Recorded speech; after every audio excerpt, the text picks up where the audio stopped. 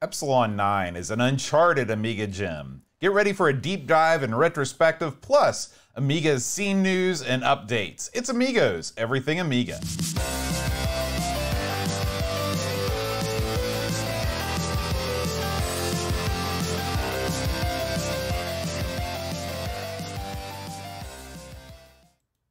Hi, everybody. Welcome to Amigos. I'm John. And I'm Aaron. And today, Aaron, we're talking about Epsilon 9. You know, the, the aliens in Epsilon 9 are called Stingons. Yeah. This kind of reminds me of the old uh, He Man naming convention for the bad guys. Yeah. Like, we've got one guy, he looks like a skunk. We're going to name him Stinkor. Well, I think they may have been uh, slightly uh, ripping off Star Trek, their boat. you think so? Yeah, because I, I read an interview with the guy. That's exactly Oh. what they did.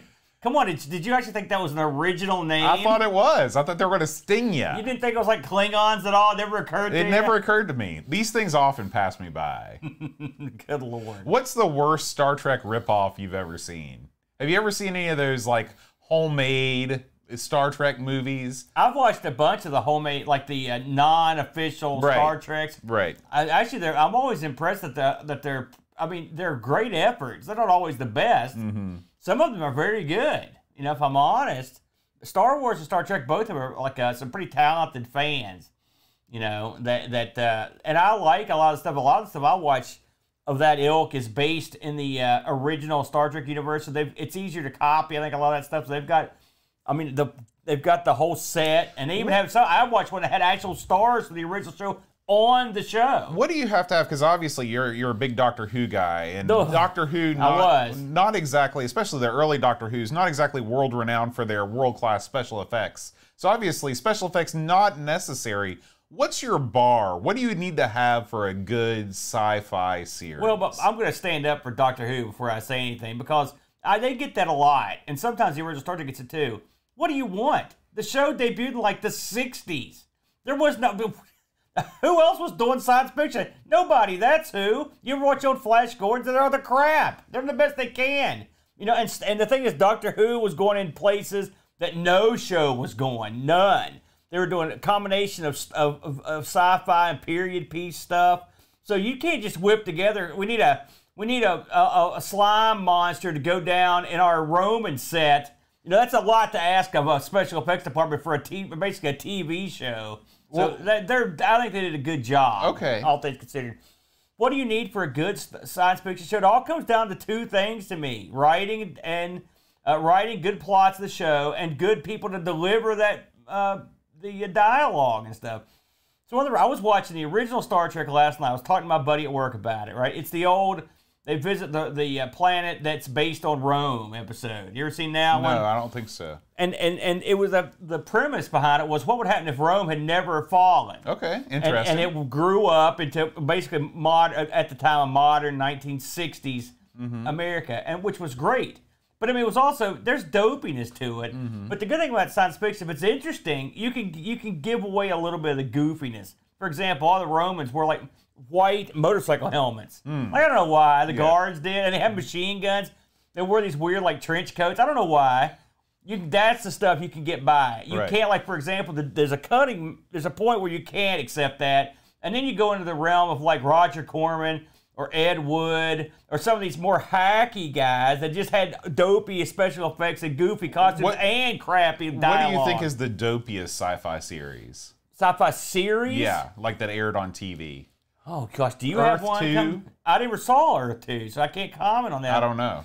I mean, sci-fi covers a lot of ground. If I'm uh, to be honest with you, uh, Manimal was awful goofy. Was that? I mean, was that set in space? no? But it was it was a you know science. I guess I'm thinking like something like set in space. What do you think? Have you got one that comes to mind? No, I like them all. You can't think of any one. You're the asked the question. You can't think of one dopey one. I well, uh, people always talk about Earth 2. People always talk about uh, space 1999. I mean, if if you want uh, of the dopiest, wackiest. what about ones- Barbarella? Was that a TV That was a show? movie. Oh. Lost in Space was goofy, real goofy. Was it campy though? Oh yeah, there's an episode where they fight. They take on a, a they put a planet full of giant walking, talking vegetables. That's that sounds pretty good. right? Stuff like that. I mean, trust me, this is the Zeus of of, of, of science fiction. You like Zeus, the horrible wrestler. Yes. This is like if he was going to sit down and watch the his wrestling equivalent to be lost in space. And the funny thing is, despite how stupid that show is, I mean, it was stupid. Everybody knew it. Uh, Will Robinson was great. Bill Mumy, who was uh, is great, still around, still does great stuff.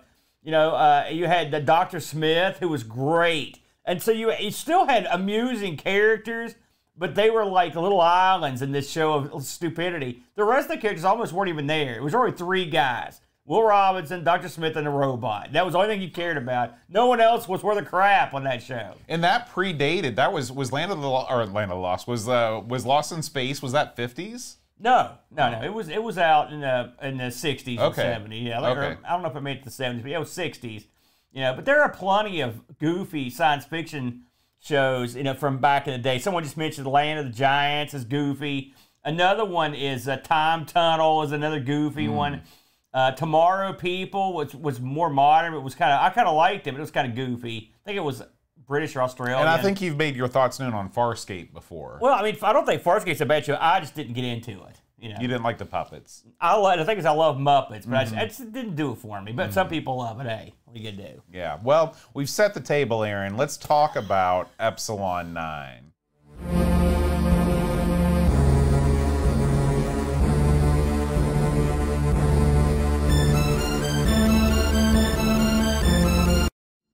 Look, I made it huge. Did you like that? I loved that how you made it huge.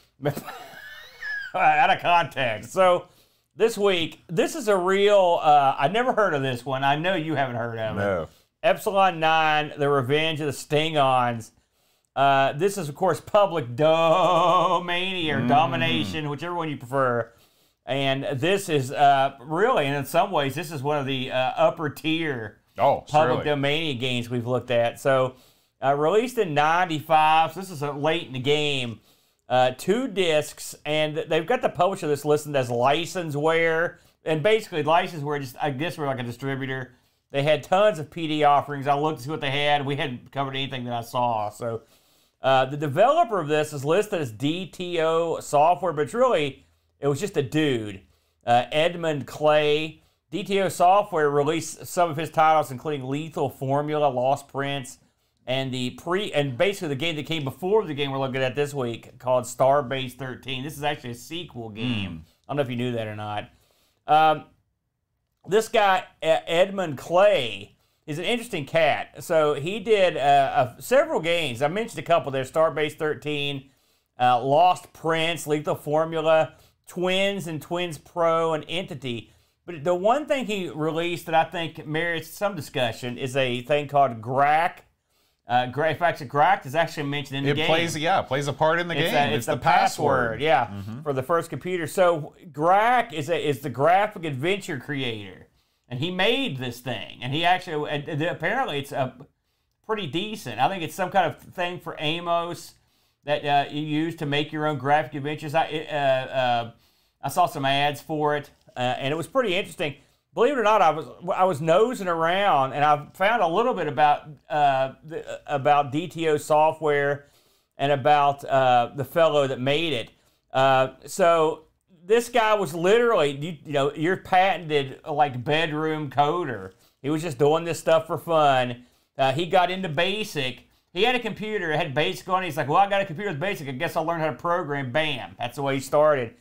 Uh, and uh, he started writing his own stuff. All the games that he did, for the most part, he did all everything in them. He did the music, the graphics, everything. And some of the graphics, these are, I mean, we'll get into that, but they're, it's not like me and you use D Paint and made it, it, and want something horrible. Uh, he was really into science fiction, surprise, surprise. And he was uh, into Star Trek a lot too, B5, a lot of that stuff. So clearly the guy had good taste. He had a brother, John. They worked together on some of these. And then John and his buddy also made some other games that were released through different uh, different. Uh, when when was. B5? Does this game pre, pre uh, does this game come out before Babylon This 5? game would come out before, yeah, before B. I had to think.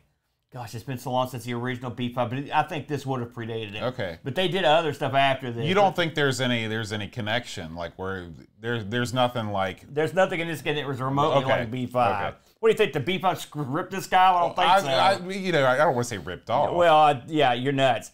Uh, so, so anyway, a lot of his stuff, some of his stuff uh, was uh, did uh, had magazine CDs and stuff. So you know that's the, in Germany, I believe, was one place I read where it had been uh, shopped around on there.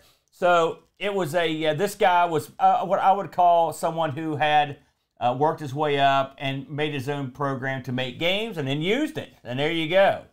And so the game we're looking at, uh, Epsilon 9, like I said, was a sequel to his pre one of his previous games. In fact, uh, the lead character in this debuted in Starbase 13 uh, boat. So, uh, do you want to give them a quick synopsis yeah. of the of the mission in this with uh, you know how and the gang? So I think uh, is his name you know how or you know who? You know who? You know who? That's Okay, better. because that's the joke. Yeah. Well, you know how it works too. But I mean, it's No, it doesn't. Well, you're right. Listen, I mispronounced the name, but I mean, you can make a game with you know how, and it would still sort of be funny, just not as funny. You are you know who, okay, and you are tasked. You you get sent off to go take care of this alien invasion on this on this planet. Okay. Uh, so you you roll in, and the, the the game actually it launches with you. Uh, you're on a sort of um, starship somewhere, and you you know goes to the commander, and the commander says, "Listen, you know you need to go like see what's going on on this planet. They've been invaded by aliens." And this is your classic, you know, we're not going to send the whole fleet out to take care of the alien invasion. We're going to send one man on one ship. Yeah. And uh, we should uh, we should talk a little bit about the opening scene here because it's quite striking. Yeah. What what the heck is that? This looks like uh, there's a there's a the Japanese weapon called a tonfa. Are you familiar I've with got, this? I've got a ton. Okay. It don't look like that. Well, it kind of reminds you of it because it's got a handle and it's got a stick coming out like this. Well, so it's sort of tonfa esque. it reminded me of something I, we can't get into. Is that it reminded me of? If your mind's in the gutter, it might look like something else. yeah. This this is just a shape floating in a view screen on, Yeah. on the main ship. It's the only 3D esque rendered thing in the game. I have a feeling that he he la- what what is the technique that you use ray tracing Yeah. on the Amiga? He ray traced this random object in his house. Probably the less consideration given to that, the better. In retrospect. anyway, you blast off in your ship. The ship taking off and landing sequence is surprisingly well done. And the opening is- very is cool too. Yeah, very yeah. very opening. Uh, I mean, you know, you can tell that everything was made in this engine. Uh, but when you get out, I think it's the only cutscene in the game. Really, is the the whole landing sequence. So anyway, uh, you land on the ship or you land on the planet, and you you enter into this office, and that's really where the game begins. It's your typical uh, point and click adventure opening where you're given a task and then all of the help goes away and you just you're there clicking on things and clicking on other things. Yeah. Uh, you know, now let's just talk about first impressions. Listen, the game starts off nicely. It's got a nice little tune. The ship is cool. It's it's obviously you know right away that it's just a funny game, you know. Uh, so which is so okay, you know, in the tradition of you know Monkey Island or whatnot.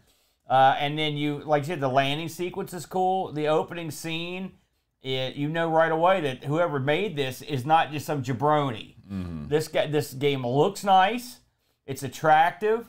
Uh, the interface, it took me a little while to figure it out just because I wasn't used to the second button. The one I struggled like an idiot for about a half hour trying to figure out why I could get the, the first game button to the work. game is weird um, you know I, I read there this is since it's a pd game it came with a readme file in the amiga but there's no i couldn't find uh, actually i think on lemon there might be there might be printed out instructions there too but in this game you you select things with the left mouse button but you perform actions with the right mouse button so for example you might click on examine with the left button you click on uh, you know door with the left button but then to make the thing do the thing you want it to do you click on the right button and moving him is the left button Yeah, as well. yeah, It's actually once you get used to it, it's not bad it's I'll kind of I understood it. That was not where I had problem. Mm.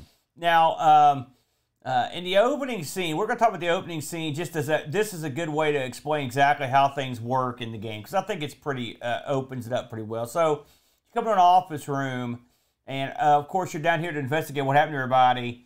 and the office is empty. And so what you're and the door out of the office, the elevator door is locked. And so what you've got to do, and, and made this is like the tutorial area. You've yeah. got to go through this office, uh, examine some stuff that's on the desk, open some stuff, try to figure out how to activate that door by using the computer. Uh, it, I'd say everything in this particular area is fairly logical. It's not super difficult. And, and once you figure out the uh, how the uh, mouse works and the controls work, the uh, interface Boat mentioned uh, at the bottom is stuff like use, examine, stuff like that in little boxes. I thought I understood how it worked for the most part. I mean, did, how does this mesh out with some of the other interfaces you've seen for this sort of game? This is very reminiscent of like the SCUMM engine Yeah. at the time. This is like the early SCUMM engine where you have text prompts at the bottom that you click on. They've limited the amount of text prompts in this game from a, from saying you know from something like Maniac Mansion. Yeah. Uh, you've got examine, operate, use, take, talk, shoot, and switch.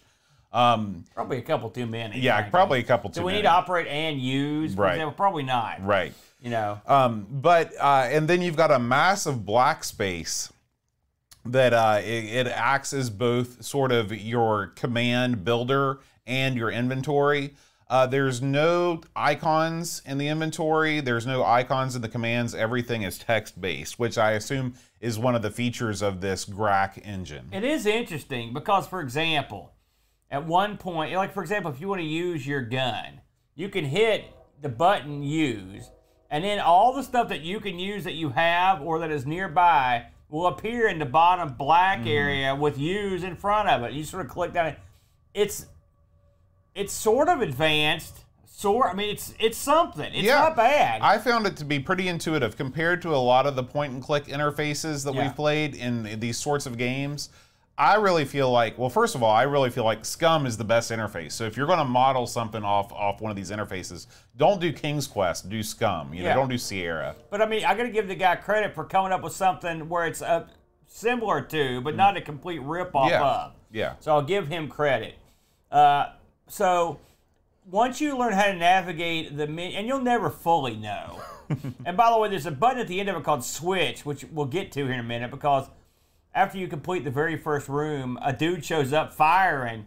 Turns out he's uh, one of the workers there, and uh, eventually you are and him team up because right as you figure out how to open the how to open that door, uh, the Stingons land. I believe it was three scout ships with 50 men each. I believe is what he says, and so they get into the uh, elevator and go down. Now, this opening room, I was made. I didn't use any cheats or uh, solutions, and there are solutions floating around for this. Uh, I actually managed to get through it on my own. All right, I was proud of myself. Actually, Good work. And then the wheels came off shortly thereafter because this game turns up to 11 pretty much right away after this, I think, in this room. Well, uh, when you move into the game, it, it gets more like a traditional game. It gets harder. yeah, th- this is a game where uh, you know you you realize pretty pretty immediately that you're going to have to operate. It's it, it gives you there are many things going on at once. You've got your traditional point and click adventure style puzzles, but then you also have another element, and the other element is that you you have to maneuver two different guys, and there are these these are a lot of times location based puzzles too. Yeah. So uh, after you leave the main room, you descend the elevator down to the depths of the basement because they figure the Stingons can't find us there. Yeah, they get to Okay. the lowest level. And this is where the game ended for me. uh, really? on my That's as far as you could go? I got to the bottom and I could not figure out. I clicked on what I thought was every single thing in the room with everything else. After I went back and I watched the playthrough, I realized that I, I must have just left one out because there's the way these puzzles work, and this is like every adventure game. If you miss one thing, you're never going to figure it out. Yeah. Okay. But like many adventure games, once you see the solution, it's like incredibly easy. You're like, oh my gosh, I feel like an idiot. I wouldn't say that. So they these guys get to, now you got out of the lift, right? Oh, yeah, yeah, yeah. So when you get down to the and there's there's some dialogue that happens in the, in the lift, and eventually you get down to this area, and this is your first kind of a more hardcore puzzle. Now, I will say, I did get past this part, this next part with one little tip. And the tip is, and this is where I learned about the switch. I at this point when I played this, I, I didn't know you could switch to the other guy. Mm-hmm. So I did see someone switch guys. I'm like, okay, that explains that. So you, the first puzzle you come to, you're in this room, in this cavern, and there's a door, and on the other side of the door is something aliens put there. It's a lock, mm-hmm. and so you've got to figure out how to get this door open. Now, one thing I learned from just doing research, I didn't even know this. Too, maybe it was, they may have mentioned, maybe I didn't notice it. You can tell me because you're good at that. The guy you play is a, is an android. He's not a real guy. Oh, okay. Did you know that? I must have missed that. Well, it was in the first game. Okay. Okay, so uh, there's a room where the goal of this room is to get through the alien door, and there are three tanks there. There's oxygen, uh, nitrogen, and uh, uh, Chlorine. Chlorine. That's right. So what you've got to do is you've got to turn the knobs on these. You've got a little like a tricorder thing. And you can tell the atmosphere on the other side of the door, and you can tell the atmosphere in your yeah, room. that was the thing. I didn't realize that you had to, because it's like, what would possess you to think that you could analyze another room that you're not in with your tricorder? Right. I, I didn't put that together. Right. Well, uh, I tried everything else, and then I was like, "Hey, I wonder if I could do this." And but I still, at this point, didn't know about get. So anyway, before you can fool the tanks, you've got to get your other guy back into the lift, or because he can't he can't breathe. He can't breathe chlorine. And then you get now. Here's the part that took me forever. Is fiddling with the tanks, and every time you fiddle with the tanks, you've got to use your tricorder to determine what the atmosphere of the room is, because you know what it is in the other room. Mm-hmm. all right. It took me eight million years to do this, and even when I did it, I don't know what I did. I was I would tweak all the three different things, and and you could read. You're like five percent off but I could never make it work. And so I finally, I finally got. I mean, I kid you not, when I sat here for an hour and I cussed a blue streak at this game, I was so upset. This would have made me quit playing immediately if we weren't doing a show on it. But again, there's probably a trick to it that I'm too dumb to understand. And then once you even out the uh, the atmospheres, the door opens, you can go in. That is not the hardest puzzle in the game No. by a long shot. Uh, and, and- and so the game now, uh, I've read some different player reviews that said they got they beat this game and they enjoyed it. And I have no doubt that someone who's particularly skilled in this sort of game could go through it. Uh, however, much like many other games, I am not particularly skilled, and so pretty much I didn't get much further than this area, and then I had to go back and just watch the rest Well, of it. in the, in the next room, the game, the character of the game changes because in adventure games, you're using it's usually inventory puzzles. Sometimes Yeah. it's location puzzles. You got to be in the right place at the right time. But in this room, you have a set of 12 logic puzzles Oh, to solve. man. And if there's anything that makes me feel like I want to just leave this mortal coil, it's let's solve some logic puzzles. yeah. That's no good. Uh, and you have to do it. And you have to solve 12 of them. And you have to do them in the right order to make this path appear going on uh, to, so you can cross this bridge. And what makes it even worse is you can fail three times and then you die and then you have to start over. Yeah. Uh, Now, uh, thankfully, you could save your game Right. with the F F1 to F10. But here's the thing: this amongst the people that have played this game, apparently this the the bridge room is legendarily difficult. All right, and so considering the rest of the game is really hard, I, I this is like ultra Yeah, hard. Yeah, but I mean, I can forgive like difficult adventure game style puzzles because that's what you've signed up for ostensibly Yeah. here. But this is just a totally different style of puzzle, and it's not welcome. And he shouldn't have put it in here. It makes his game less fun. Well, I I'm, I'm not gonna lie. When I was fooling with the gas tanks, I was thinking to myself, who enjoys this? Right. And that's, I mean, and it's okay. What he, sh- I mean, and again, you should have just been able to match it up, maybe typing things on your on your keyboard or whatever, like the way that you just described it. Like, why did he make it so needlessly difficult? The, the, I, maybe I, maybe it's just hard to us. I, I can never know. I never know for sure. But you're a pretty good hand at this sort of thing. With all that said, I've got to give the guy props because we're reviewing this game like it's a real paid for game.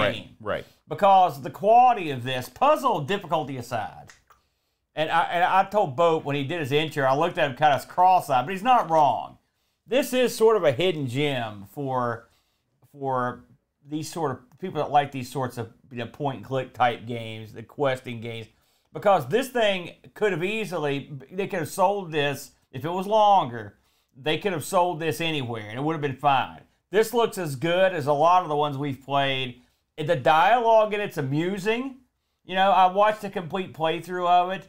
It was amusing. It was uh, it, it uh, it's self-aware. You're not even sure if you're the good guy uh, in through parts of it. Yeah, yeah. You know, I'm Yeah. not sure if the Stingons are that bad. And here, and here's the other thing: this game is not long. Yeah. Uh, and and I don't have a problem with that. I mean, first of all, because it's PD game. Yeah. So you know you're not paying for it. You don't Yeah. feel like you've lost out. oh yeah. But you know, this is the sort of thing, this episodic adventure, you know, because like you said, this is the sequel. This is exactly the kind of thing that Telltale brought back to the market 20 years after this with their Monkey Island series, with the uh, with the, the the the Homestar Runner series. They have these episodic point and click adventures where you just play little chunks of the story and then you you know it takes you a couple hours and then the next month another one comes out. I think that's super cool because a little of this genre for me goes a long way and a lot of these games like Indiana Jones and the Fate of Atlantis. I mean, you're talking about a four or five hour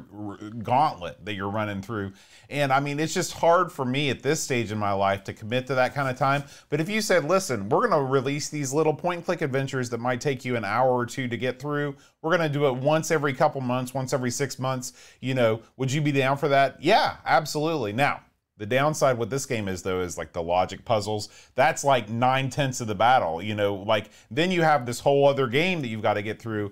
At this point, I would have never seen the rest of this because I would have never got past the logic puzzles. Well, the game, I mean, I watched a playthrough, a complete playthrough that the fellow went through, and it was about, uh, what, 19 minutes, Yeah. something like that.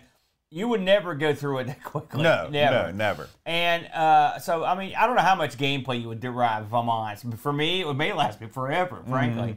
And I looked at some of the puzzles are much more traditional. You probably could figure it out puzzles. Some are not.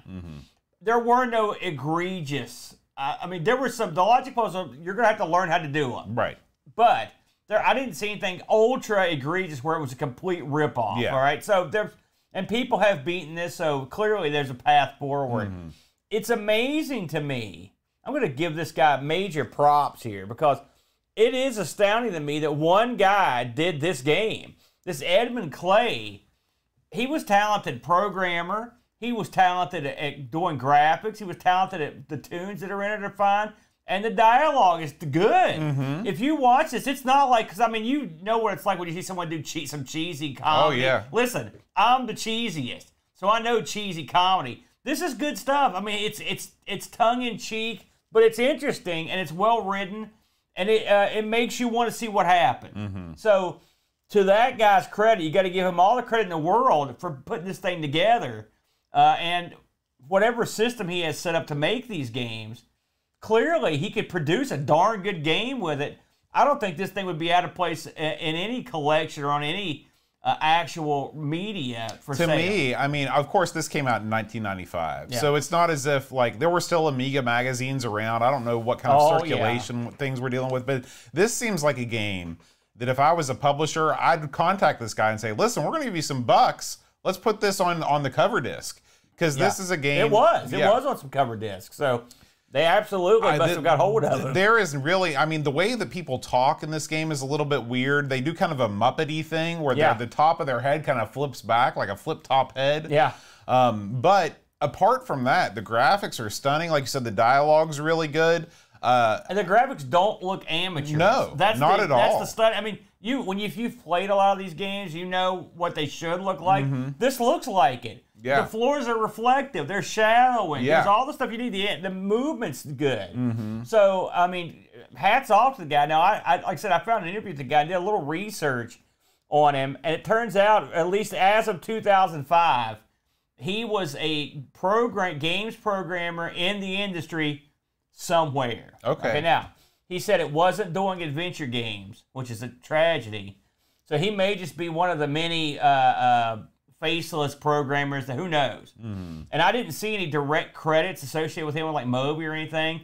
But it's good to know that it at least went into the field right. you know, at least as of 2005. So there you go. Like I said, overall, if you think about the graphics, the music, the interface he came up with, I called it a winner. I would like to know. You don't have in it, and I'm, I'm not. You don't have on your notes if uh, any other famous games that were built in this engine, or any other games that were built with the graphic adventure creator. Um, do you? I know that his brother's games, a couple of them were built Okay. with it, and, but I don't, I don't know of any others. Now he had some, for example, he had, I believe, Lethal Formula was built as the sort of the demo game for GRAC, Mm-hmm. and I believe it came with it. It was, it was people. So he built his own games in it and distributed them, and then sold the system as well. So I Mm-hmm. don't know, I don't know how well it sold. It's available on, uh, on his website, which is still up, Mm-hmm. and uh, I know he had it, as of around 2000, he had started to dip his toe in the pool of DOS, Mm-hmm. but I don't think anything ever came of it. So this is one of those guys that you know he came,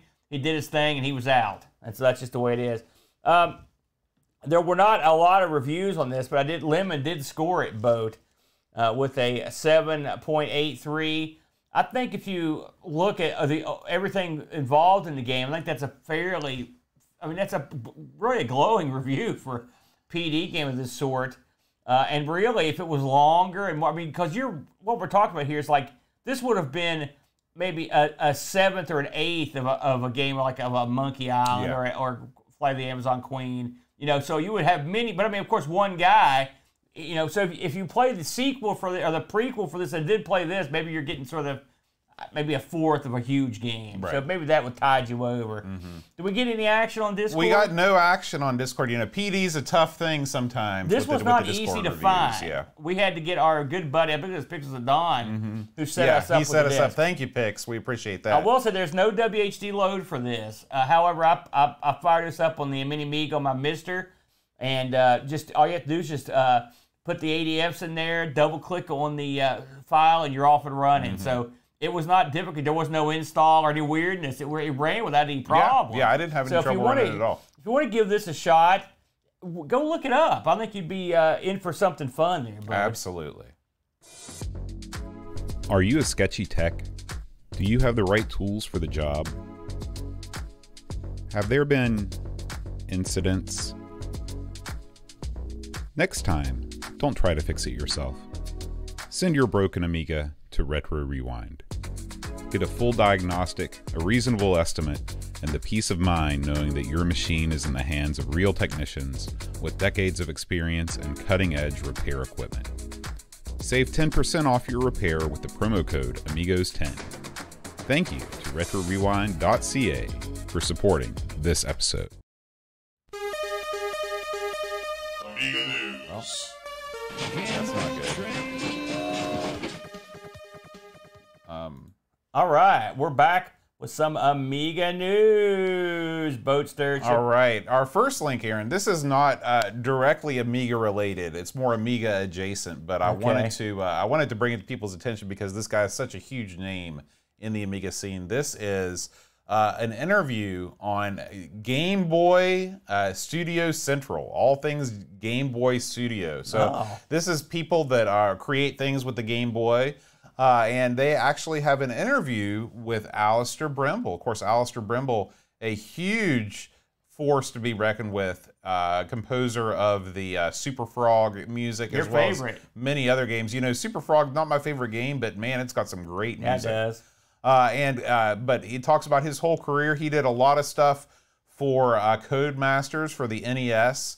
Uh, he and then of course he did tons and tons and tons of Game Boy music as well. So I had no um, idea that he did a ton of Game Boy music. Yeah, pretty crazy, huh? That's a pretty cool. That's a decent flip from Amiga. You could, you know what I'm saying? Right. I mean, you, I could see that the same kind of music would. I'm not saying obviously the exact same kind of wouldn't, but I mean Mm-hmm. the kind of games that you would find on the game on the Game Boy series, they would work well with his stuff. He's, Yeah. Because I mean, when you've got the musical talent, it tra- it travels. Right, right. And so uh, if you're interested in checking out uh, an, a nice interview, then check out this link over at the subreddit, uh, the Amiga News subreddit. Very good, Bo. Good. That was a good find right there, man. Thank you. Uh, next up, Aaron, you're going to talk about this one. One of your favorite games is coming as an Amiga port. I was super excited about this, uh, and I got less excited when I read about the system specs. But anyway, uh, uh, Bazili is porting over an old DOS game I used to play back in the day called Death Rally. You know me. If it's got death in there, you know it's gold. and uh, he, this one's just it's still in the in the works, but it looks like it's going to be a winner. You did you ever play or hear about Death Rally back in the No, day? I know so little about DOS gaming. I mean, you it's could, funny how you know I, we talk to people we know people well Mm-hmm. and I'll, I'll just cite dave velociraptor who thinks that this era of gaming the dos era is the finest gaming uh, ever on any machine now i disagree with dave velociraptor on that but there were a few gems that staggered stupidly through the dos era and death rally was one of them it's just It it's- looks very nice. it's exactly what you think it is. It's sort of anime. It's a top. It's overhead racing with, and this makes sense with the weapons and stuff. This was. Uh, you got to remember that the DOS uh, games were always lagging behind for you, and so when they finally started to catch up, you did get some exciting titles. And I thought this was cool because I liked the way it looked. Yeah. It played well. There were a lot of fun additional stuff. Uh, one of the things about it that was a lot of fun, we had really awesome tunes. Uh, so that's cool. Now, so here are the requirements to play this game when it comes over the Amiga. Right now, you have to have a 68040 or 60, and you need that FPU. And apparently, there's a lot of uh, calculations going on. You also need Kickstart 3, AGA, uh, 8 megs of memory, 45 meg hard drive space. Now, here's the bummer on this, and this is a bummer, and I hope they'll address this. No multiplayer. Uh, you have to use the fixed game pad, which that could have been baked into the game for all we know. But the big bummer, no music. yeah, that's that's a hard thing to overcome. That's a real bummer. So I don't know uh, exactly when this is going to be ready to go, uh, but uh, I believe it's pretty close. It's funny, oh, they've got it here that the original game ran on a 486 with 8 megs of RAM up to a Pentium 90 with 16 megs of RAM. So in that sweet spot right there.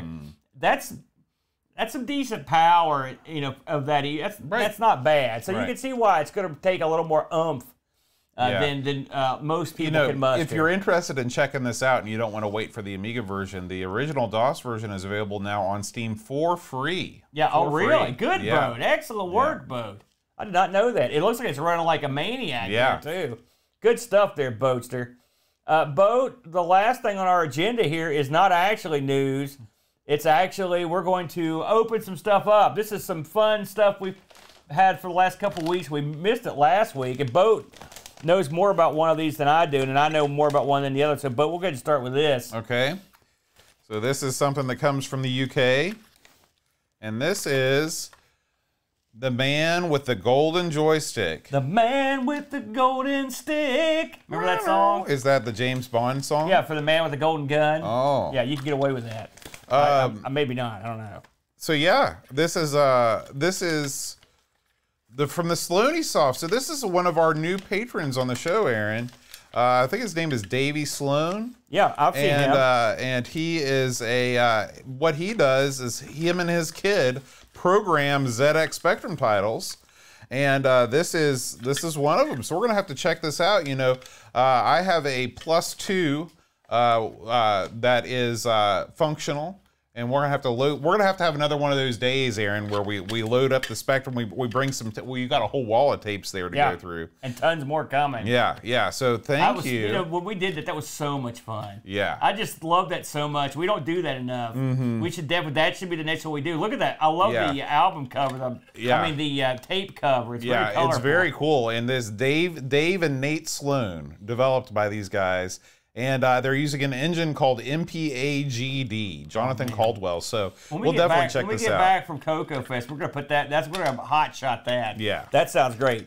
So the other thing we've got here, and I know what this is. Uh, uh, I got contacted with a fellow. Uh, his name is uh, Pat Nevian, and Pat is a guy who works with uh, works does musical work with uh, Chris Huelsbeck. And so they for they sent us to review uh, a new neat thing. This is Chris Huelsbeck, the piano collection. Right there it is. Uh, we're gonna have a look at this. Look at that boat. There's uh, 18 tracks. There's 17 tracks. including the theme from Jim Power. Listen to this: Apidya, the Giana Sisters, uh, Jim Power, like you mentioned, uh, the Turricans, a couple Turricans on there. Uh, uh, more Turricans, The Adventure of Quik and Silva, and then Exile as a bonus. You know what we should do, Aaron? If we can manage some way to finagle this, we should play those songs while we're playing the games on well, screen. or we could li- even listen to them in your car because they also sent us this USB Ooh. drive that came along with it. That's and look at this thing. I got to pull it out of here because look how fancy. It's even got embol- It's it's got the logo on there as well. See Wow, that? that is that is Yeah. something. So uh, we will be giving this a listen That's to. real. It's not gold. What do you? I just turn. I turn away for one second, but and you're biting it. Look how nice that is, everybody. It's even got the little. It's got the collection on there. It's so nice. So listen, we appreciate you guys sending that uh, for review.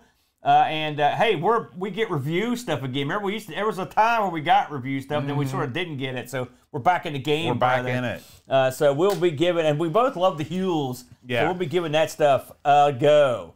Um, while we're here, Boat, uh, we should probably mention a few things. You know, Boat just printed up so many nice things, but one of the things he printed up here, I'm going to hold it up here. Just I, I feel like I'm the Brent. That's what Brent does. Are you gonna mount it on your gut? No. Oh. Look right here, everybody. Bam. Tell them about it, Boat. Boatfest 2023 is less than two months away. Oh, Actually, it's more than two months away. I'm just saying, don't do that to me. It's wasn't- two, two months and two days away. Yeah. Uh, so uh, if you have not yet uh, gotten your tickets, uh, head on over to boatfest.info. It is West Virginia's premier retro computing event. We are bringing in uh, guests from all over the world, including Australia, the UK, Canada, plus uh, lots of lots of fine folks from all over here in the United States. We are going to have live podcast recordings. Uh, Rob Flacco Hera is going to be around to tape an episode of Sprite Castle. Hopefully, we'll be bringing the van. Big Rob's van will be, in, will be at the house. Um, I Frank and his crew from Retro Rewind will be on site doing your repairs. Uh, Frank is always uh, good for uh, uh, sitting around and listening to him tell stories of his time in the industry. He's got a million of them. We're going to have an auction. The Brent, master auctioneer, the Brent is going to auction off all of your fine goods for, a, Yeah. s- for a small fee. Um, and, Watch your uh, wallet with yeah. the around. and uh, we're just going to have a good a good old time. It's going to be in the Copper Room on Main Street of Hurricane, which is the room above Connolly's Irish Pub. The pub is closed, but the room is still open, and we are going to be there. Uh, large and in charge. Like I said, June 23rd through 25th. Get your tickets and find out more information at boatfest.info. Listen, there's going to be. You're not. I mean, listen. You talk about what's these premier computer thing. This is gonna, number one. It's one of the only ones. But number two, I guarantee you, the assemblage of strange devices is here is going to rival a lot of other bigger cons. We're going to have some weird crap at this thing. I'm bringing some weird crap. Others uh, uh, bringing some weird crap. There's going to be a lot of unusual items at this thing. It's going to be a blast. You know, Oram just said it's closed for Opals. Loca, we take up both floors. That that's a distinct possibility. That's right. We'll sleep downstairs, sleep it off Yeah. downstairs. That's gonna be a lot of fun. Please, I'm, be- I beseech you, come see me and Boat. Hey, if y'all like us, come smack us around. We're okay with it. Yeah. All right, Aaron. It's time to talk about what we're going to play next week. Oh man, who knows? Oh, look at this. We've put around the block with this one a few times. It's the old Moonstone. Mm-hmm. That's Boat. right. We are going to take a second look. We did Moonstone way, way back in 2015 or 2016. It's time for a second look. I'm looking forward to diving back into this. When we played some of this on Amigathon last year and had a good time. Let me tell you something.